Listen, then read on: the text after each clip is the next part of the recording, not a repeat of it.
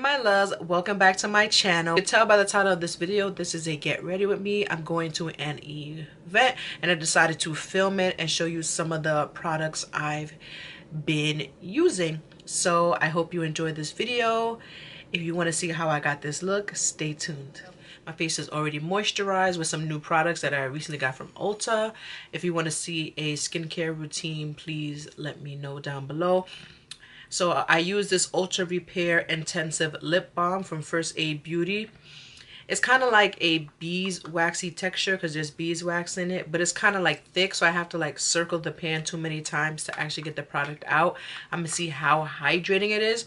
Right now it just feels okay, but I don't think it's worth it. But I got it in a set of a whole bunch of skincare products. So I already moisturized with the First Aid Beauty Moisturizer and now I'm going to use their primer and this is their Ultra Repair Hyaluronic Hydrating Primer Safe for Sensitive Skin. So if y'all know me, y'all know my face is oily. But in the winter time and as I'm getting older, my face is getting a little bit more dry. So since it's fall, almost winter, my face is really dry. So I've been using a lot of hydrating primers and things in my skincare routine along with you know some things that are matte because I'm gonna get a little bit oily throughout the day. So I'm just gonna be using this primer. And it just feels like a extra hydration. It smells good too. The other products don't have a smell but this one actually does. So even if you're oily you should still be putting a moisturizer on because your skin still needs extra moisture. So that felt moisturizing. And i'm going to be using my favorite primer at the moment is the milk makeup hydro grip primer because it's hydrating at its at the same time. It like grips it's like tacky so it grips the foundation to make it stay on a little bit longer. And this is good for all skin types. So that gives me also another added hydration and it's like tacky.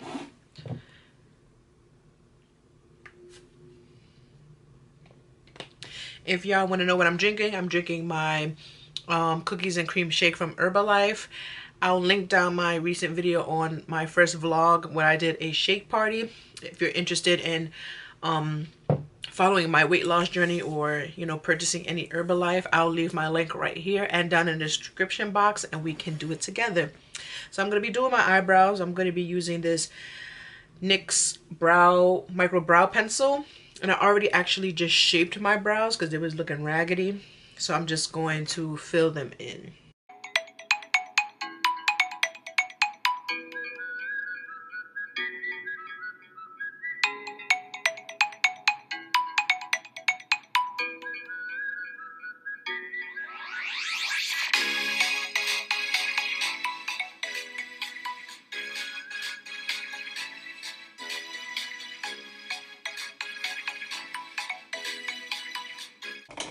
and I'm going to be using my 3D 3D face creator by Ruby Kisses. Y'all know this is my jam.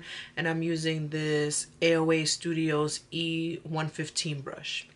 And I'm take the lighter color, outline the bottom, and the darker color and outline the top.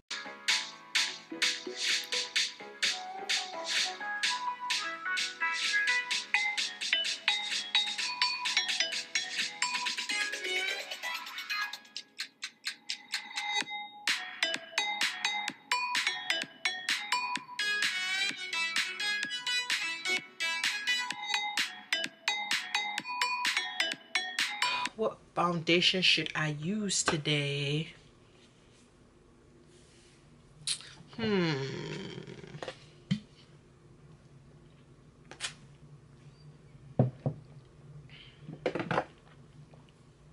I'm gonna go with my Fenty and this is in the color you would think I noticed by now 380 and this is the matte one put like two pumps on my hand because not that many pumps come out and I feel like the shade is a little light even though it does oxidize I'm gonna just add the littlest amount of the Juvia's Place I'm gonna add the tiny amount of the Juvia's Place foundation and 340 Kampala because I feel like this is just a tad bit too dark. So it kind of balances each other out and I love these foundations. They're like so gone. So you can see one is a little darker than the other. Hopefully you can see it on the camera. My lights are not too bright. Actually, let me put on my other light.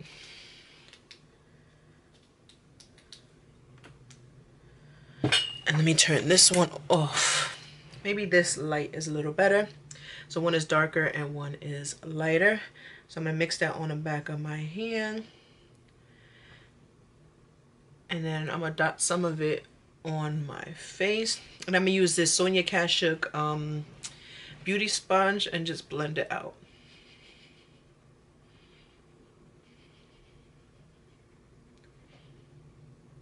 And to get the most coverage, you want to blend like in small sections instead of blending it out too much. And a little bit goes a long way with both these foundations together or separate. And as you could tell, it's just like covering so flawlessly.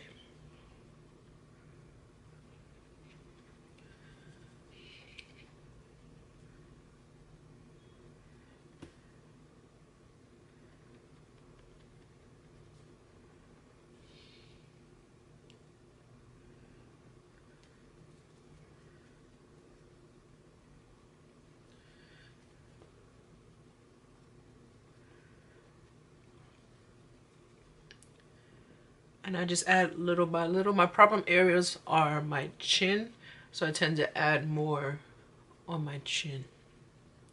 But my skin has gotten a little better, but then has gotten a little worse. It's like up and down. Like before when I had really bad acne, it was like all over.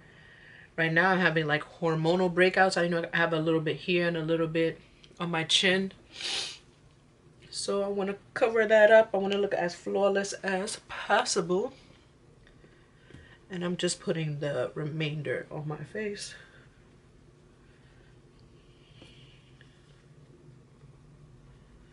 And I really love this sponge because it's very big and it covers so much surface area and it makes it full coverage.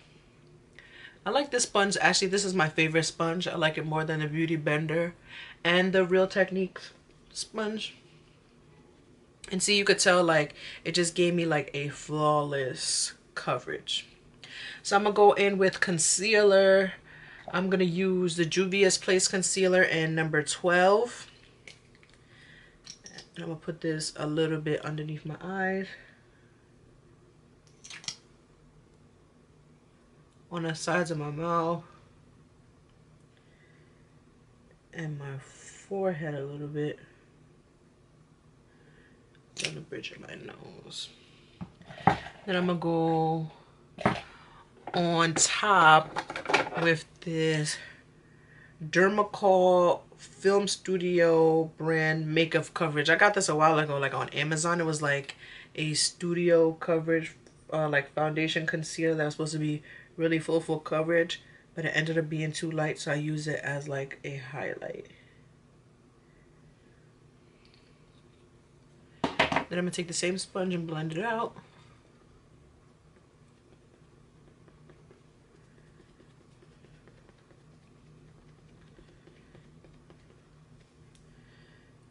blend underneath my eyes.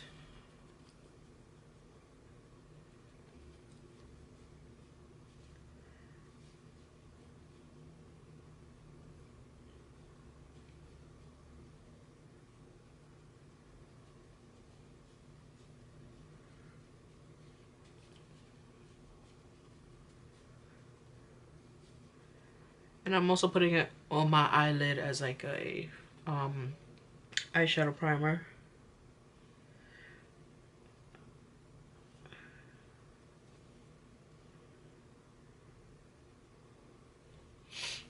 Then I'm going to set the highlight with a powder. I'm going to use my Sasha Buttercup powder. And I have some of it mixed with the Midnight Topaz powder in here already. So I'm just going to place that underneath my eyes.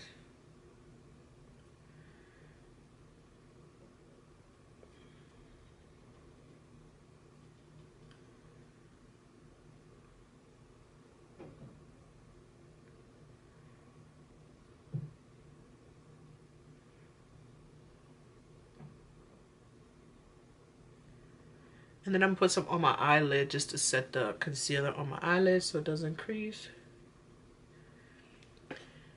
And I don't really like to bake, so I'm just gonna wipe it off.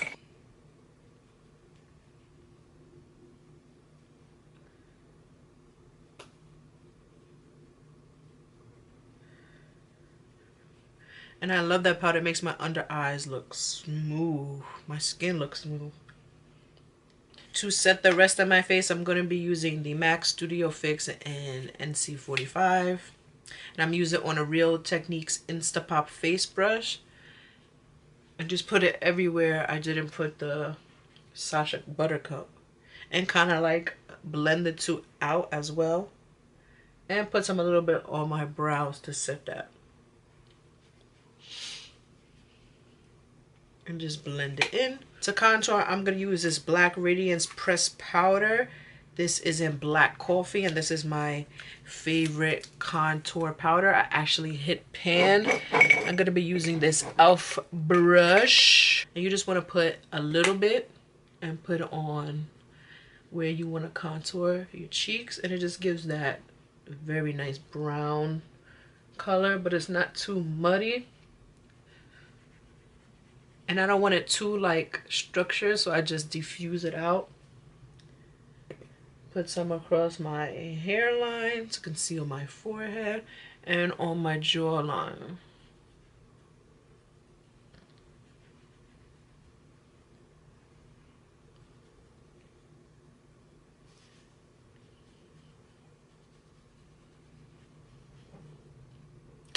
And I put a little bit on the sides of my nose For blush, I'm going to use my favorite Always Spicy from e.l.f. This is what it looks like. I'm use my favorite uh, blush brush. This is from Real Techniques as well. And this is the Multitask brush. And I'm just gonna put it above my contour.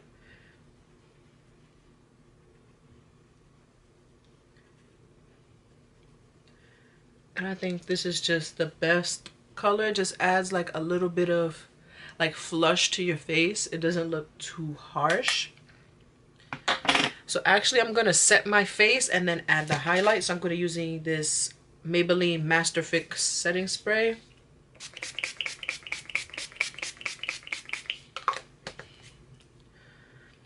And then I'm going to use my favorite highlight that I got in last month's BoxyCharm box. This is the Becca Shimmering Skin Perfector in Champagne Pop. And I'm going to use my favorite highlight brush and put it on the tops of my cheeks. And you see that? This shit is blinding.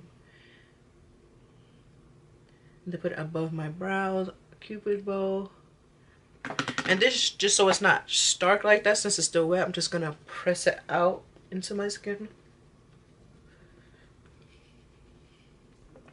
Then go back in with the brush with no more product and just blend it.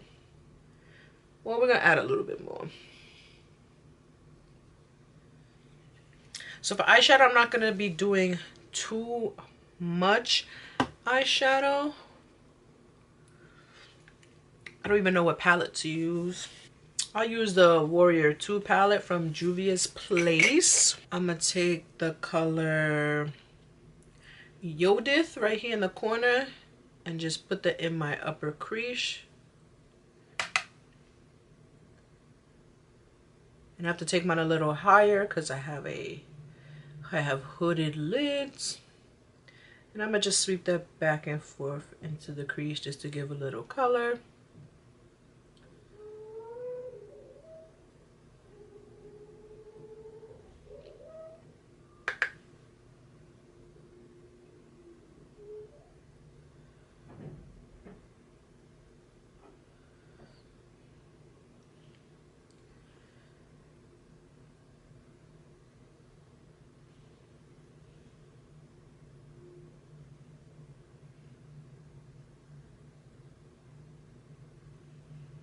Then I'm going to go into the color Kufuru, which is right next to it, just a deeper brown color.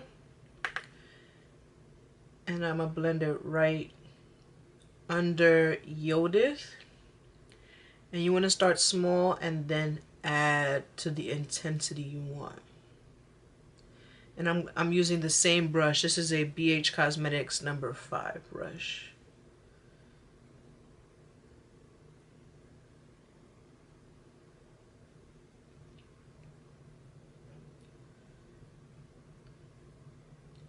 And the key of eyeshadow is to keep blending. When you think you've blended enough, blend some more.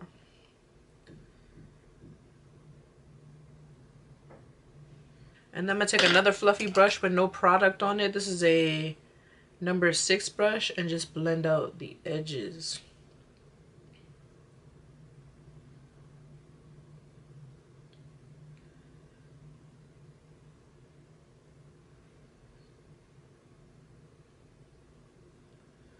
And then I'm just going to do a basic lid, just a matte lid. I'm going to use the color Kana, which is this grayish color right here. And I'm going to pick it up on a BH, num BH Cosmetics number 8 brush. And it's just a flat brush. And I'm going to just pack it on the lid.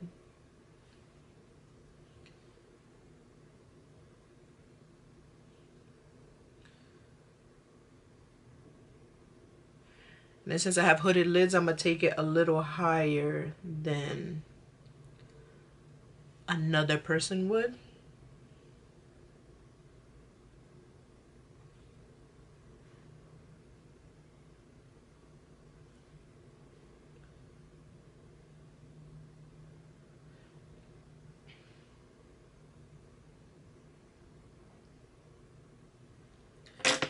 Then I'm going to take that same number six brush with the no product and then kind of blend it upwards.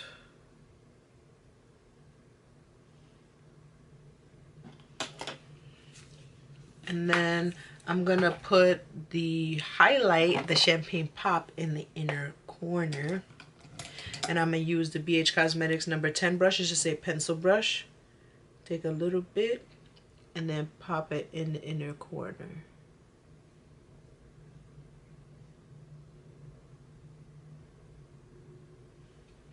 Love this color. Then I'm going to line my eyes with the Smashbox Always On Liquid Eyeliner. And I'm going to use the I'm gonna use the mirror from the Celestial Thunders palette just so I can get it in frame. So I'm gonna put it down here so I can look into it and just draw a line.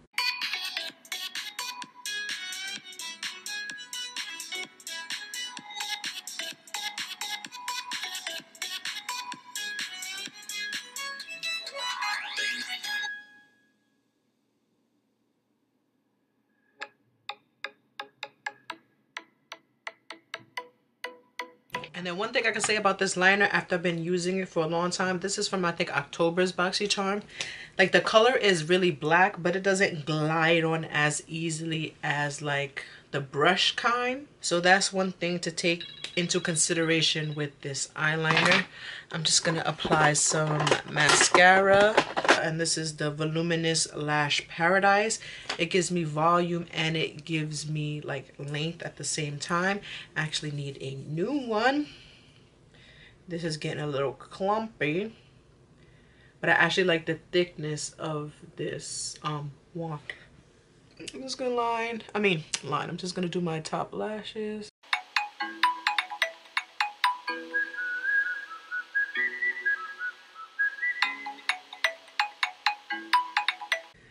So I'm going to take the same Warrior palette and take the darkest color that I use on my lower lash line, which is Kafuru, and put it on my lower lash line. And I'm using this BH Cosmetics number 7 brush. Just to smoke it out a little bit.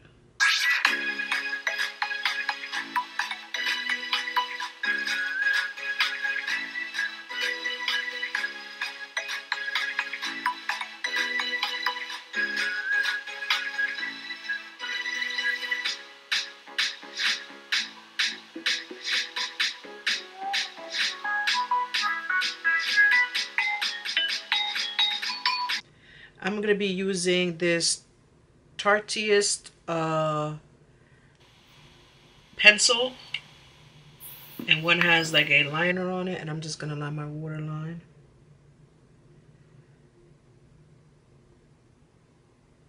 And this is a brown.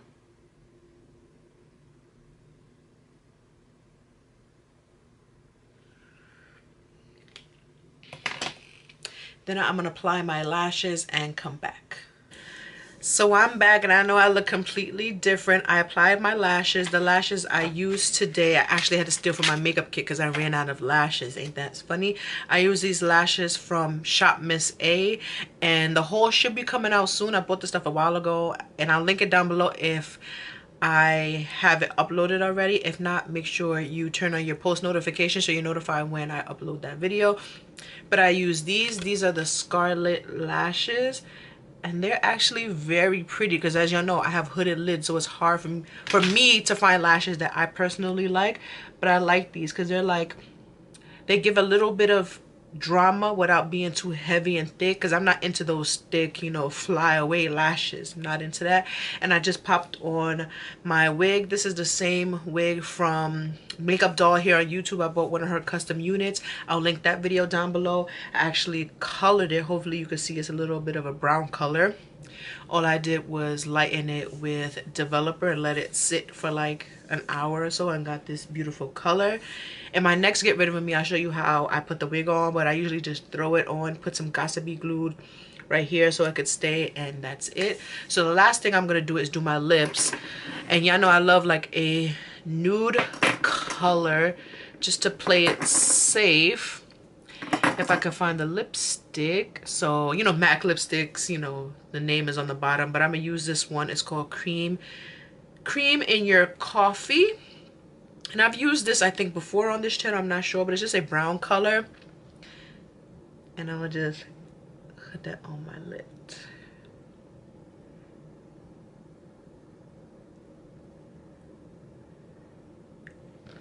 This is a beautiful everyday color and you don't have to put a gloss because this is, I don't even know what kind of finish this is.